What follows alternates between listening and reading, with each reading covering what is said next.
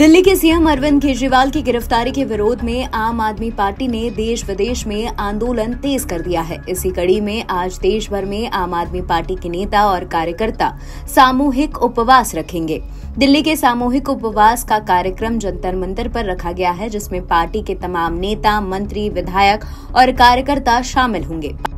Party के नेता और दिल्ली सरकार में मंत्री गोपाल राय ने उपवास कार्यक्रम की पूरी जानकारी दी। उन्होंने कहा कि देश विदेश में अरविंद केजरीवाल के समर्थक भी पार्टी के नेता और कार्यकर्ता सामूहिक उपवास का हिस्सा बनेंगे। अरविंद केजरीवाल जी की जो गिरफ्तारी हुई है, उसके खिलाफ अरविंद केजरीवाल जी के लिए पूरे देश भर में सभी राज्यों में उनकी राजधानियों में सामूहिक उपवास का कार्यक्रम हो रहा है। दिल्ली के अंदर जंतर मंतर पे सामूहिक उपवास का कार्यक्रम होगा जिसमें सभी आ, मंत्री हमारे सभी सांसद विधायक सभी पार्षद उपवास पे बैठेंगे।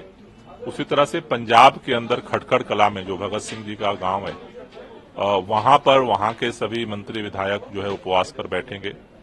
उसी तरह से अलग अलग राज्यों में जो राजधानियाँ हैं वहाँ पर लोग सामूहिक उपवास पर बैठ रहे हैं। उसके साथ साथ लोग अलग अलग जिलों में अलग अलग तहसीलों पे, कस्बों में, गाँव पर, और जो लोग यहाँ नहीं आ सकते हैं, वो अपने घरों पर सामूहिक उपवास करेंगे, प्रार्थना करेंगे, अरविंद केजरीवाल जी को आशीर्वाद देंगे, जिससे कि वो इस तानाशाही के खिलाफ लड़ सकें।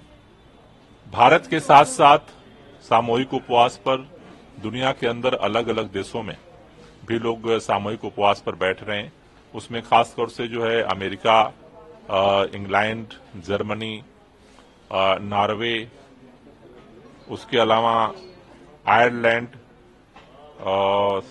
ऑस्ट्रेलिया, कनाडा, इन देशों में भी जो भारतीय रहते हैं, वो लोग भी अरविंद केजरीवाल के समर्थन में जो भारत के बेटे बेटियाँ वहाँ रहते हैं, वो भी उनके समर्थन में सामूहिक उपवास शुरू कर रहे हैं।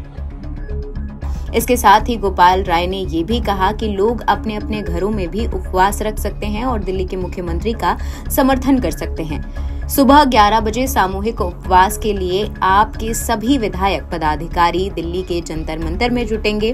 आपके सामूहिक उपवास को देखते हुए दिल्ली पुलिस ने भी कमर कस ली है। विरोध स्थल की ओर जाने वाली सड़कों पर सुरक्षा बढ़ा दी गई है। बाहरी बैरिकेडिंग के चलते सेंट्रल दिल्ली के कुछ हिस्सों में भी यातायात प्रभावित हो सकता है। आपको बता दें, दिल्ली शराब नीति से जुड़े भ्रष्टाचार के मामले में दिल्ली सीएम अरविंद केजरीवाल को ईडी ने गिरफ़्तार किया है। फ़िलहाल वो 15 अप्रैल तक न्यायिक हिरासत में है।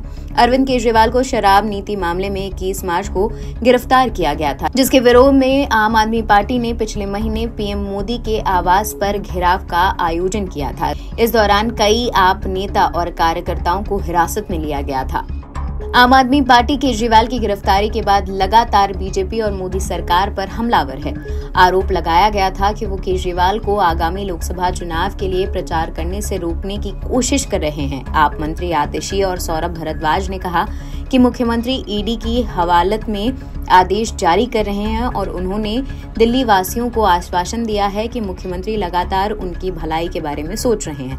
आपको बता दें, दिल्ली शराब नीति मामले में अरेस्ट आप सांसद संजय सिंह जमानत पर बाहर आ गए हैं। संजय सिंह के जेल से रिहा होने के बाद आम आदमी पार्टी में जोश दिख रहा है। पार्टी के नेता लगातार मोदी सरकार को घेरने में जुटे हैं। इसी बीच आपने ये भी कहा कि वो लीडरशिप में कोई बदलाव नहीं करेंगे। फिर चाहे केजरीवाल जेल से ही सीएम के रूप में काम करते रहें। हालाँकि बीजेपी ने केजरीवाल के जेल से काम करने की योजना को दिखावा करार दिया है। एनबीटी ऑनलाइन की रिपोर्ट।